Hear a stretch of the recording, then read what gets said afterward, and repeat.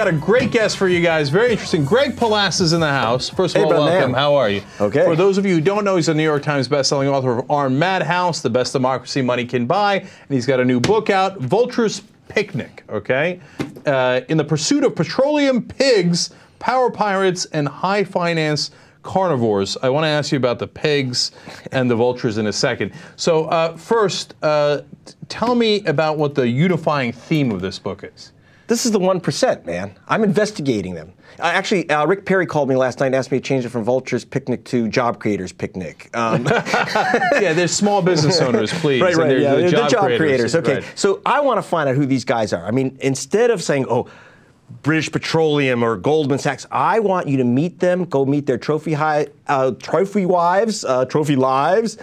Um, you know, we follow their yachts and we go find the bones and bodies that got them their billions all over the world. So I do old-fashioned investigative undercover reporting for BBC TV, and that's what you're going to see in here. I go from the Arctic to Asia. I get busted there. So what are you doing in the. Arctic? What are you doing in the middle of Asia? What, what happened? Okay, why I'll tell you there? why I'm in Asia. Okay, Deepwater Horizon explodes. Boom, right?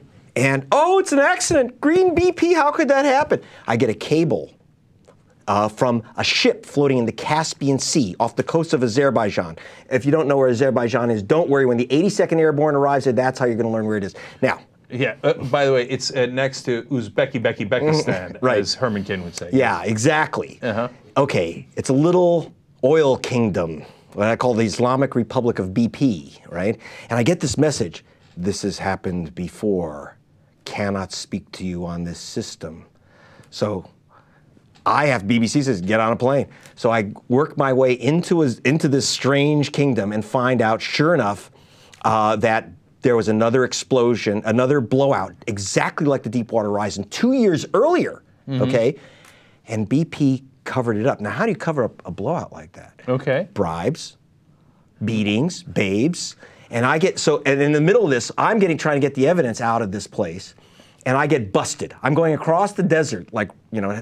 Ended up badly. I got busted just like well, Rommel had a bad time in the desert Right, too. yeah. But I um, I get busted by the secret police Of And- Azerbaijan? Of Azerbaijan, and they and and the BP police had their own uh, police force with little oil derricks on it. No. Yeah, They, they do in Azerbaijan. Yeah. Was, did the blowout happen in Yeah, Azerbaijan? yeah, right off the coast, deep water, same Uh-huh. thing, same BP rig, Transocean, same crap cement that caused the first, this, the second explosion in the Gulf. They covered it all up. Now they took my film, of course. Uh-huh. They took my film. Well, but they didn't take my ca- my pen, you know, that I was making notes. Of course, it was one of those little Austin Power pens. Oh, that's awesome. That we do little, Uh-huh. you know, and, Uh-huh. and and getting that out was not so easy because when I put it in my briefcase in the in the X-ray machine, it kind of looked like a gun silencer or a dildo or something, and I had, had a bit of a problem. Uh, but I got it out either way, yeah. But I got it out, and we got the evidence. And listen, BP, Lord Browne, his president in, in the USA testified under oath to Congress that there was never a problem with their deep water drilling. This is in November 2009, six months later, Deepwater Horizon blows up. They had covered up the fact that the methods they were using were deadly. They, Right. And So, Greg, uh, when you uh, when you find that out, is your conclusion that they think, hey, listen, we know this happened before, we know the problem with it, but we're going to continue not because they want another blowout. Of course, they don't want another blowout; it's going to cost them money, but they continue. Uh, their operations It's as is because it's, cheap. cheaper than trying Look, to look, fix You know what it is? It's really dumb. they use and- they use quickset cement. Time is money on these ships, right? Uh-huh. So, you know, time is money. Time is money. Time is money. So we got to use the quickset cement. It just doesn't work. So they thought, oh well, that was one time. Don't worry about it. That's And, Azerbaijan. and the lesson that they learned was, look, if you buy off the government, then you can cover it up, right? So in Azerbaijan, that apparently worked fairly well. In the U.S., it didn't. Obviously, it didn't work nearly as well. But at the same time, you know, a lot of times you had the Obama administration appearing to be like the PR people a of DC of stand. Oh yeah, like like for example, I go in. Uh, they're told the Obama administration BP says bugs, bacteria have eaten all the oil. So I go to the Gulf Coast and I get a submarine to mm. find out that the oil's still in there in the water column. Yeah, of course, it's in the water, of And course. so of course. No, but you know, and, And- so but- here's what I yeah. think people have to understand. Why does the government of the United States and Azerbaijan do the same thing? It's because of the money, Lebowski, right? Yeah. And so obviously the leaders of Azerbaijan, I would assume, get rich off of it, right? but our guys get the campaign contributions, et cetera. Exactly. And so what's happening, it's a poison system. It's oil poisoning and money poisoning too. So for example, um, the, the, other thing that, that, I was looking at, I go up to the Arctic, for example, and I, I, get a message to go up to meet the Eskimo leader, Etok, the great whale hunter. Mm-hmm. And he's got yeah, information awesome, for me. Yeah. yeah, I get some information from him. And I have to sit inside a whale and eat whale meat. So I have to be polite. By you the way, literally sat inside a whale. Inside a whale, eating fermented whale meat and congealed blood which, by the way, tastes like whale meat and congealed blood. And we, um, but then I get information that, you know, you got this XL pipeline that's running down uh-huh. uh, from Canada to Houston. They say it's safe. That's because the only way they know it's safe is they run a, a pig through it, not, not a uh, not a uh, oil company executive. I'm talking about a robot pig that has little oh. whiskers, and when there's a leak or there's a you know corrosion or something, it's going to explode. It squeals. Well, I find out that they've jacked the software, like, you know, turn it down, like pulling the batteries out of your smoke detector so it doesn't right. go off, so it doesn't squeal. No problem. So I get so I get a guy who says, I know that the software has been fixed. I said, How do you know that? He said, I fixed it. He confessed. And I said, and I said, Will you go on camera? No.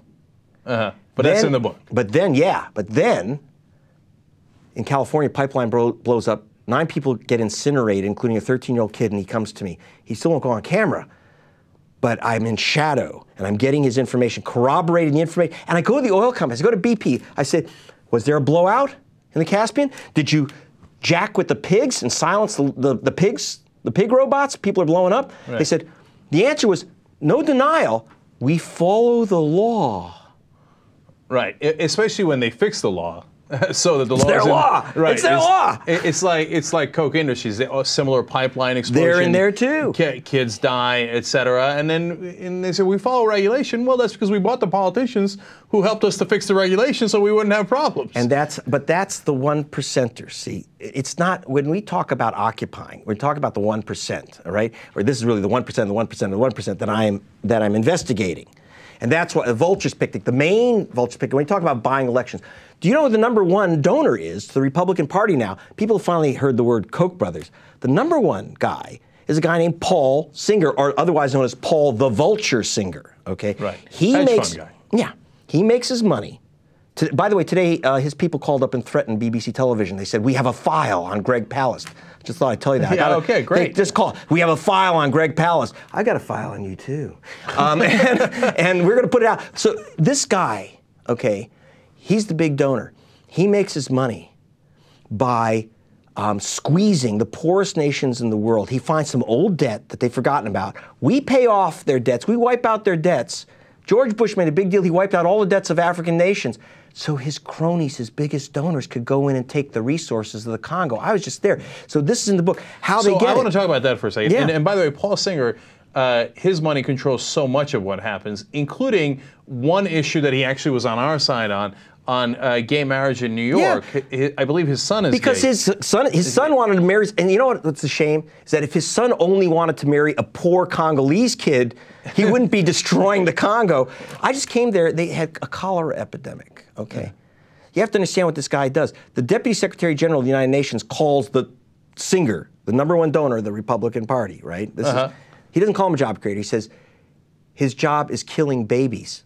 That's a quote. Wow. Okay. okay. So tell us why. Why? You say because that's a heavy charge, right? Mm-hmm. So what does he do in in these African countries that you think hurts those countries so much, and how does he profit off of it? Okay. What he does is. They grab the vul- I don't talk about the whole gaggle of vultures, of which Singer is right. the uber vulture. Okay, and okay. they're all they're all together, and they all support the, they all combine to support the GOP right. normally. But they mm got they buy the Republican Party. They rent some Democrats when they need it. Right. And what they do is when countries are being destroyed by civil war like Bosnia and uh, Congo, they find some old debts of the country. The countries get restored to democracy. The West, we, the taxpayers, generously write off all their debts, and they say, "Wait, wait, I got this piece of paper, like international repo men." Mm-hmm. And here, I want to collect, and they pay maybe, you know, two cents on the dollar on these debts, and they collect twenty. So, like Singer in Congo, he paid ten million dollars for debt with, as our information. He's collecting a half a billion dollars. Where do they get that money? It's our money. It's our aid money.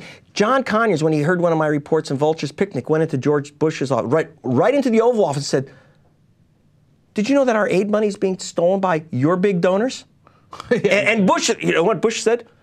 I, I didn't know uh, nothing about it, which is what he says a lot about. Right. But you have to understand the way that they do it, they're not just cruel investors. It doesn't work that way. It's bribery, it's inside info. So I- want the audience to understand. Look, it's one thing that you know you make a bet on Apple or GM in the stock market, and, it turns out you're right. You make money. That's life. That's great. There's no nothing wrong with that. But in this case, uh, you know, when they they go to buy the ch- uh, the cheap debt because they know we're going to pay it off, right? So that's why they go and they go, oh, I know you got this. You can't collect on this hundred million dollars or whatever it is. I'll pay you two million for it, and because no, they know that they got our politicians in their back pocket. But right? see, here's here's the thing. I hate to say it. There's a lot of people that would do that. Spend two cents to get ten dollars, right? Right. But here's what they do. It doesn't work that easy. In the case of, for example, Zambia, one of the vultures I start out in Vultures Picnic tracking is a guy named Goldfinger. It's the real Goldfinger. Now, the real Goldfinger, by the way, makes the the James Bond Goldfinger look like a Girl Scout. Uh -huh. And we trace this guy. He's paid off the president of Zambia to shaft his own country. Okay, we follow the president of Zambia. When I say we, me and my uh, and my sidekick, Miss Badpenny, and that's by the way her real name. So we have real Goldfinger, real Badpenny. That sounds unbelievable. It, it is, but it's true. And uh, Bad Penny follows him to Geneva. She speaks four languages, so she can handle this. And he stops when he's about to dump his uh, cash in a Swiss bank account. He stops to go shopping, as you and I would on the bank and go on our way to the bank. He shops, go, stops to go shopping, but he buys, spends a million dollars cash, buys 200 pairs of elevator shoes because he's a short dictator and he gets a diamond-studded tie. It's like all diamonds. It's maybe a tie-studded diamond or something. And this, she's filming because she is it, speaking in The French. pen. Does she have the pen No, no, again, the she has. secret Austin She's pretending because she looks like a Bond girl. She looks like a movie star. She's, she's filming a, a reality show called, you know, Shopping with the Rich and Famous, and she's getting this all down. Right. Okay. And, you know this, what's, what this is amazes how we get me the stories. is that, the, uh, that some of these leaders of the countries sell out Mm-hmm. their you know their own people. You know, with the incredible outbreak of disease in some of these countries, they need the money so desperately. But they make a secret deal with these guys in New York. And then for what? For a diamond-studded tie? For a tacky, Well, horrible tie? You know what? There's a really important story in there that'll that'll explain it all. This there are trucks stealing skimming oil off the Osage Indian Reservation, Oklahoma. I was in an investigation. Remember, I was an investigator before I was an investigative reporter. We're following the trucks. They go back to a loading dock. Who's standing on the loading dock telling these truckers to skim oil off the Osage Indian Reservation? A guy named Charles Koch. Charles Koch personally is telling his truckers to steal oil. Now, here's the thing. They're stealing about $30 worth of oil from each Osage Indian family a week. The guy's already a billionaire. He got the old fashioned way, you know, he, he inherited it, right? Right. So we have, there is literally a tape recording. Uh, one of his executives asks Koch, he's wired, why? I mean, you're kind of, you know, you're kind of already a billionaire. Why are you skimming a hundred bucks a week from, you know, this family or uh, the Indian family? You know what Koch's statement was? This is Yeah. Koch's statement was, "I want what's coming to me, and that's all of it." I mean, these guys are. Uh, uh, they, it's like a bad James Bond movie. It's ridiculous. And by the way, the guy who turned in the Koch brothers on their skimming uh, business when they were skimming off the uh, Native Americans was their own brother. He he, Right. came in and said at one point, "Look, they're stealing taxpayer money. They're stealing from these see- things, and they do it on a regular basis." And a lot of the inside scoops. I didn't know you guys had the tape. Now you have the tape. See, because I worked with the FBI. Mm-hmm. See, with the FBI agents, and we got the tapes and we got the information.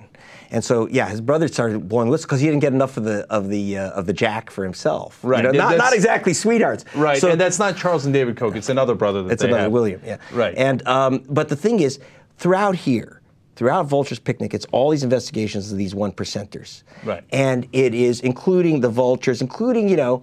Um, you, you know when you talk about oh guys make an investment in uh, in oil in uh, Apple or something and they do okay. Well, for example, I got this guy, the SAC, Mm-hmm. Stephen A. Cohen, SAC Capital. So Mm-hmm. Yep. you know, this long blonde shows up one day at one of my readings and says, "I have information for you. I want, I need to meet you." I said, "Yeah, I, I bet you do. Who are who are you?" She Patricia Cohen. I said, what does that mean to me? She says, Stephen Cohen's wife. I said, that means something to me. She says, I have documents. You want to you want to come by tomorrow? Uh-huh. I said, no, I want to come by right now. Uh-huh. And here's the deal. This guy's worth seven billion. Mm-hmm. Okay? Is he that smart? He seems to know which way a stock's going to move before God knows which way the stock's going to move. Mm-hmm. No. According to the stuff that she was giving me, and I'm waiting for the denial, is it's inside information. He knows. He gets he gets the it's not research. How does he make how does he always know? And the so here's the, here's the trick. It's not there's no such thing as a victimless billionaire. So when Cohen is selling you is buying a stock that he knows is like RCA that he knows is going to be jump up because of a takeover bid, mm-hmm. you just lost.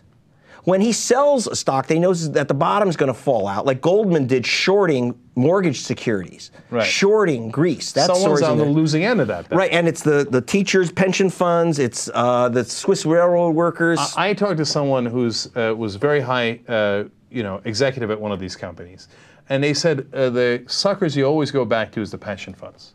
Yeah. Okay, so all of our pension funds, teachers, cops, et cetera, et cetera, they're the suckers at the table. The guys who run them either A, don't know what they're doing, or B, don't really care. They get the commission either way. Right. So they're like, okay, oh, I'm the losing end of it. Oh, well, Goldman the Sachs was on vultures-. So the problem is not that these guys make money. The problem is how they make the money, right? Right. That's covered in this book. But before we let you go, Greg, there's sex in here too. What's that about? Oh, I'm sorry about that, but Yeah, it's investigative Okay. reporting. All in right, fact, God there's one story. okay. Yeah, I mean, in fact, there's one story where I'm doing a st- uh, investigation of nuclear uh, of nuclear plants, Uh-huh. and I got. By the way, I have the engineers' notebooks from Fukushima. The guys that built it. It says this plant cannot withstand an earthquake. It's right in the book, the actual notebooks. Okay, Mm-hmm.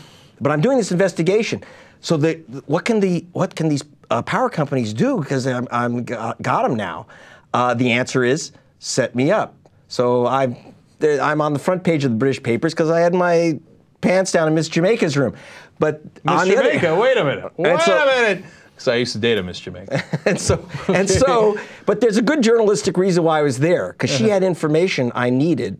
Uh, I bet she did. Yeah, she did. She had a couple of things you needed. Apparently. Yeah, but well, you know, I mean, you know. But what's wait? Is there a like why why is that a scandal? So you were having sex? Well, no, what they and then they try to change it where I was like had snuck into her room, all this stuff. But it was Uh-huh. it was a brilliant setup. And you know, by the way, who did it is a guy whose name is Puss Moron, but I think that he uses the name Piers Morgan here on CNN.